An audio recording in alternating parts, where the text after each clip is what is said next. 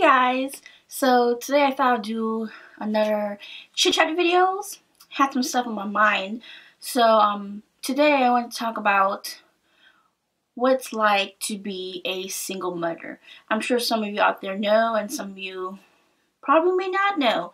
So yeah, I am a single mother. A little bit background, my daughter is currently two years old.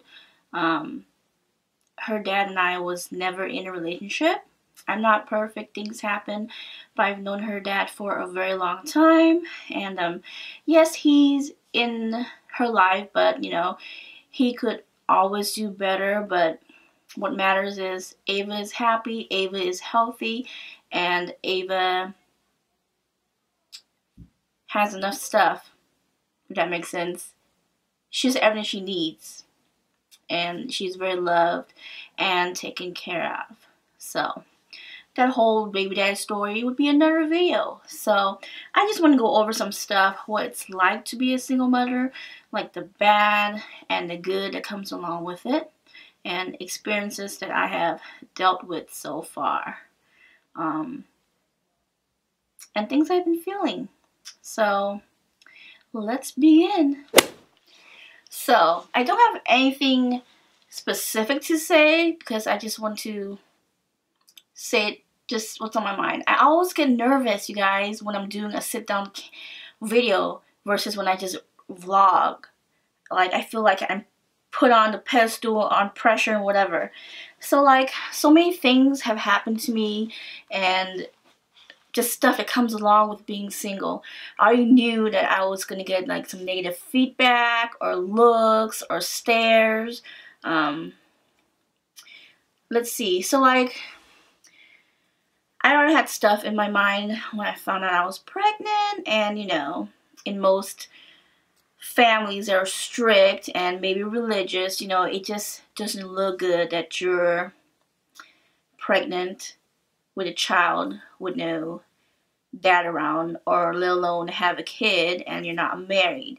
That was probably something that I thought I was gonna end up with. You know, marriage, child, house. But that didn't happen and um, I just had a baby. I wasn't married. Um, so I probably did let down my parents because, you know, they did their best to raise me growing up. They were pretty strict. I've never done anything bad. And I only knew one person in my life, which was a cousin who had a teen pregnancy. And a lot of girls that I knew in high school got pregnant when they were like 16, 15. Yeah, 16, 18 even. And sex wasn't even on my mind during that time. So, and you would think, you know, I didn't, I didn't end up becoming a teen pregnant chick, but I ended up being pregnant in my 30s. What, when I was like 30, 32, 33? I can't think right now. So, I guess I feel like I let down my parents. I still think about that until now, but it is what it is. Um, another thing is like when I go out, I don't have a, wedding ring, a wedding band. I have a child, and I think also because I do look young, I guess, but I don't think that young. But those are thoughts in my head. Like when I go out, I don't have a ring, so I'm not married, but I have a child with me, and I feel like people are staring and they're like, oh, she's probably a single mom. Oh, she's probably a young teen who had sex um, of course, unprotected and just had a baby, stuff like that. That that's what goes in my head. And when I see, you know, a child with their dad spending time eating, shopping, whatever, it makes me feel sad, lonely, uncomfortable, and wishing that my daughter would have that experience, even though her dad is in her life. Again, it's another story. But when I see it, it's just like, oh, so sweet, so cute. And then I feel like when people see me, they have all those judgment looks in their eyes. But maybe they're not. Maybe they are. I don't know. But that's how I feel. And just in general, like, and people assume you're like this slut or whatever, or you're stupid, and we thought better about you. So, those are some of the negative stuff that I've been thinking off and on. I try not to let it get to me, but certain days when I'm having a bad day about something else, and those stuff will trigger when I'm out with my daughter. Um, also, having to manage a lot of things. Everything's by yourself when it comes to doing groceries, when you make plans. You basically you can't you can't make your personal plans like you used to. And for me, even when I didn't have a baby, I didn't do my stuff. I don't have friends just to hang out with on an everyday basis, so that wasn't an issue. But then, you know, there are days when I want to be myself. I want to go out. I don't. I feel a little regret if I were to go out, which I have been out like once in a blue moon with people here and there. I feel guilty because I feel like I'm leaving my daughter um, at home. I'm leaving her out of my life, even though you know we all need our me times. I have this little like guilt trip, and I feel sad as like as like I'm eating, hang out with my friends. I'm like, oh, I feel bad leaving Ava. She could have been eating next to me, and then also you know, I'm blessed that my parents watch my daughter. Um, but days I do go out and they watch them, I feel bad about that too. So that's always in my head. And then you're always having to plan things ahead of time. You you're the one that have to take to the doctors. Um, you're with them 24 7 if not, you know. So what I was trying to say is you basically are doing everything on your own. Pretty much 100% of the time. When I'm not at work, I'm with Ava pretty much all day unless I have to do something by myself, which is really rare. You know, when I go to the stores and I take her, sometimes it's hard, sometimes it's easy. It depends on her mood. I, you know, of course, you always have to get ready ahead of time, pre-pack, you know, the diapers, the bottles, the snacks, the wipes, the extra clothes because you don't know what's going to happen. Your baby is unpredictable. She might be vomiting, she might spill something, she might make a mess, she might poop, she might pee. So you you have to prepare and plan things every time you go out with a child because they might be in good shape, they might be in bad shape, whether it's a little boo boo or a big boo boo, like or emergency. You just don't know. And you know, if your your kid is behaved, it's it's it's so peaceful going out, having fun, seeing her smile. But when she's having her moment and she doesn't listen, it's a struggle. It's very stressful. It causes anxiety. You're trying to handle, you know, the grocery shopping. You're trying to get things done, but at the same time, you're watching your daughter, making sure she is safe, making sure she doesn't run away or run off. Because sometimes you do let your child walk, and as she gets older, he or she gets older you let them walk because they're curious and they touch things. You have to like make sure they don't, you know, hit something, grab something, break something, and it's hard. And you know, some stores you go into, it's so stuffy. It's like you're already having anxiety, and you, the last thing you need is your child going crazy and you having a panic attack and you're sweating and it's stuffy. Does that make sense? You go crazy, and some days it gets so bad, you're literally have to, sh- to shut everything out when you're with your child and you want to cry. And there's days when you want to cry and scream, you can't because you don't want to scare your child. And some days it gets so hard. I probably have this incident off and on with Ava. She acts up really bad on some days, and I literally, we had to sit in the car and just try relax before we go out until she calms down or something. Or sometimes she'll cry for no reason. And this is me and her. So those are some of the struggles when I'm, I'm out and about with her. And then so the fact that I'm pretty much always by myself, whether or without Ava, but especially with Ava, you know, let alone trying to juggle things at the same time as making sure that she's okay, um, you know, making sure she's safe. I also have to be aware that I'm a woman and, you know, there's no one no extra help, no extra person to help out or, you know, look. I literally have to look at her at all times, even when I'm grabbing something. I'm looking at her while grabbing something. That makes sense because this world is crazy. Like I get so paranoid. All this stuff you see on TV with people just randomly kidnapping your child in public places, in stores, the dollar store, or Walmart. One second of not looking at your child that can happen. And since Ava's walking, she's all over the place. I I run after her, and so that's always on my mind. And it is stressful, but it's something that you have to get used to, and it gets tiring at times because there's no second body to help you out. You know, because we only see her dad like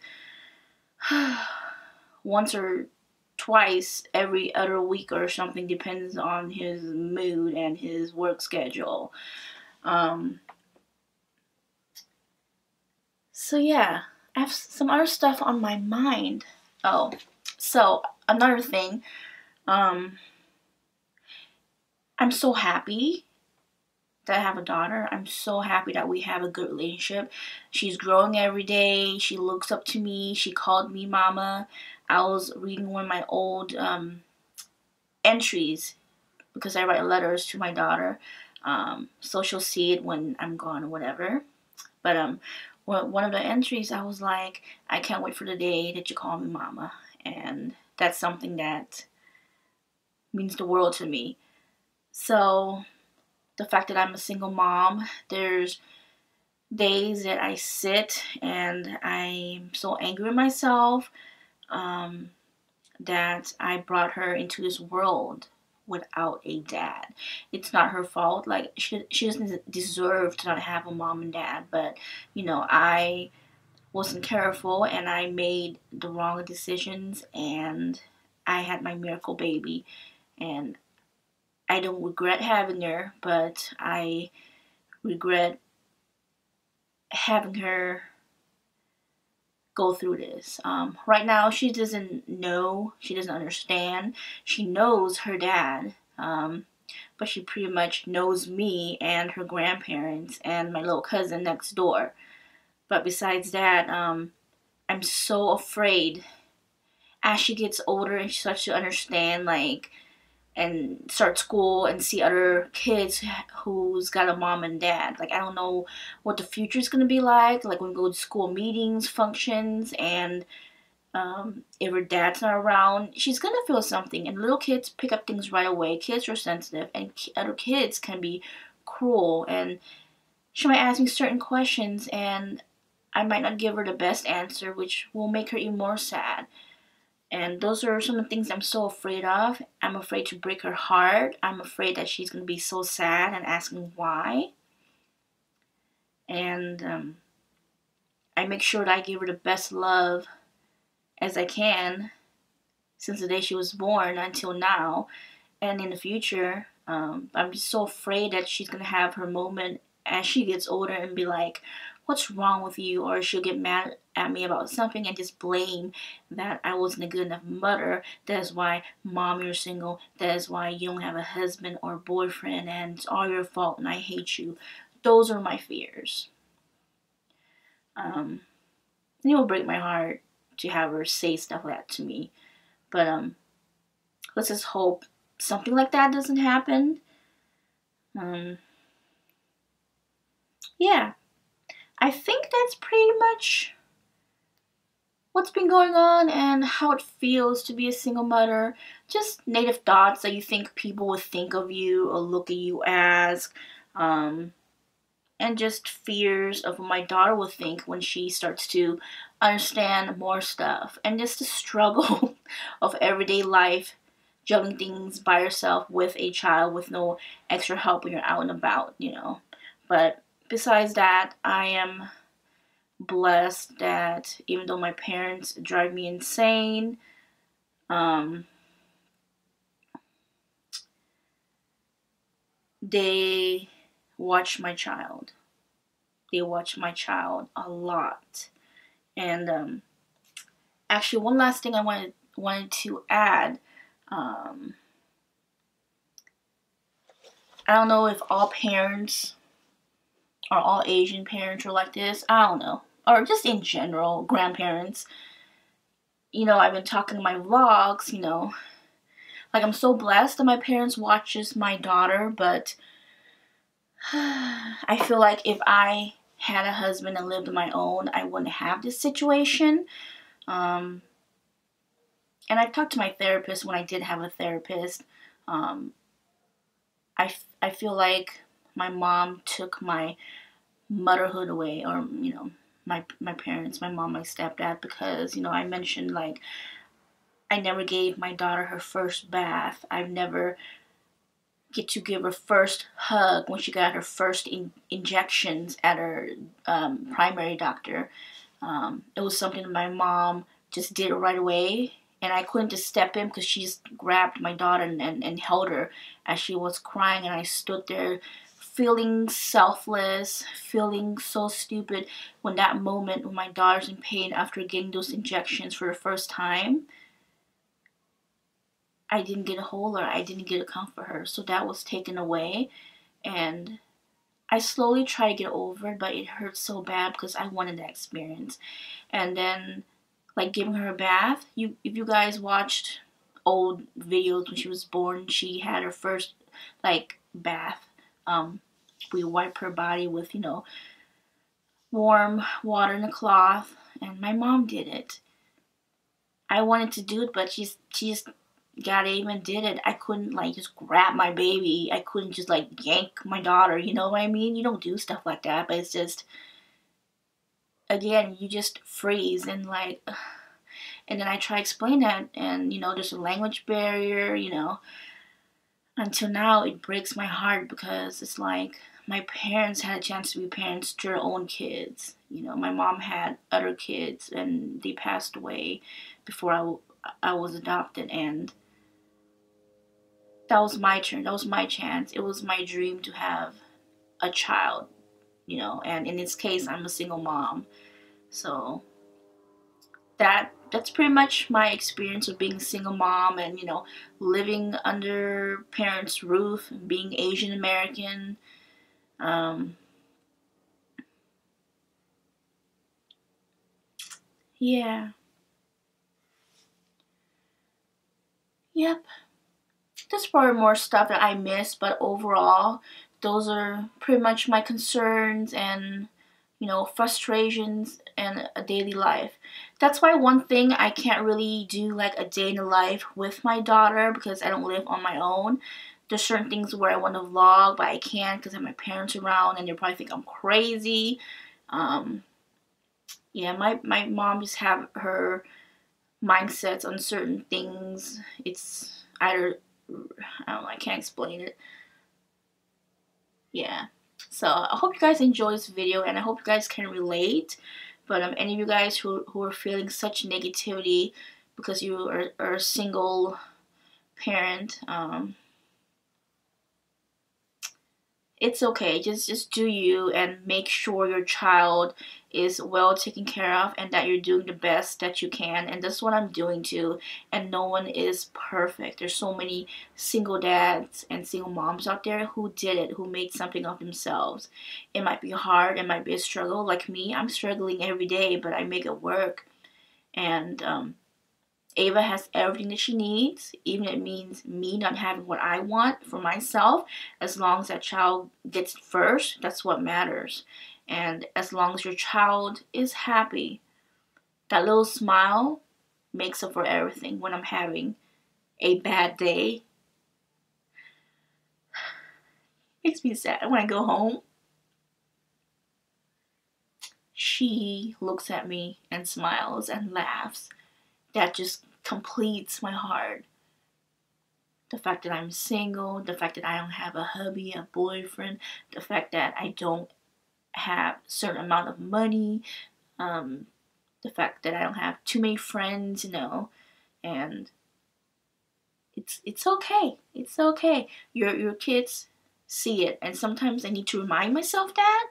So make sure you remind yourself that it's okay, and um, everything does happen for a reason. So I'm still waking up. I'm still waking up and doing what I need to do with the bad and the good. So hope you guys can relate and understand and give me um, some comments what you guys think and what you guys have gone through and just let me know. So that is it. I'm just gonna start rambling some other stuff. So thank you for watching guys.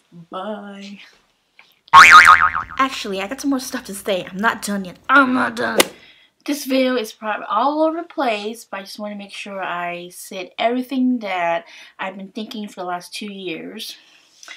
Um Another thing is, I know it's not too important. It's like the last thing on my mind. And just that fear of like, I'll be single forever and that nobody wants a single mom or to date someone with kids. But um, I also know because friends have told me that it's easier for a single mom to have somebody than a single dad to have somebody. I don't know.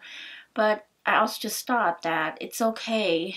Um, I'm also at that age. I'm pretty much 35. I'll be 35 in March, and a lot of people are either divorced, separated, or single like me, and then with kids as well. Um, and to that, I also, I don't know, I'm just giving a bad rap. I just don't want, like, I already have a daughter, and I do want more kids in the future if I still have that time. I don't want to be an older mom in the 40s, and I just don't like the feeling of having another child with another man. So basically, having the thought of having two fathers and you know, if the next person is in my life, you know, I'm married and stuff, it's just that thought, like,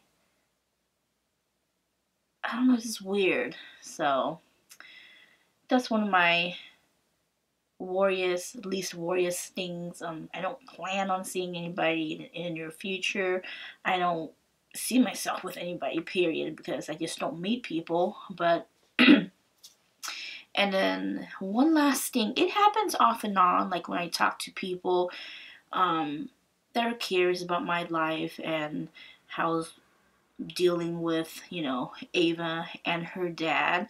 Um, yes, her dad is not the best person, but he's also not the baddest person. Um, people just assume because, you know, he wasn't there for you know her birth he's we don't see him all the time. He doesn't get to take home ava. Again ava's always been at this house.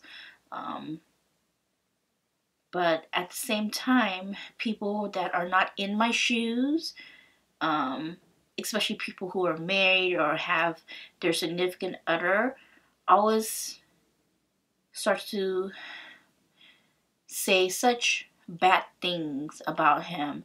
I mean, I think I have a right to say bad things about him because I know him personally. I have been around him. I have seen the bad, but I have also seen the good. And that is something that other people that aren't me are always going to think, are going to think that, that he's always bad. He's, he's always no good.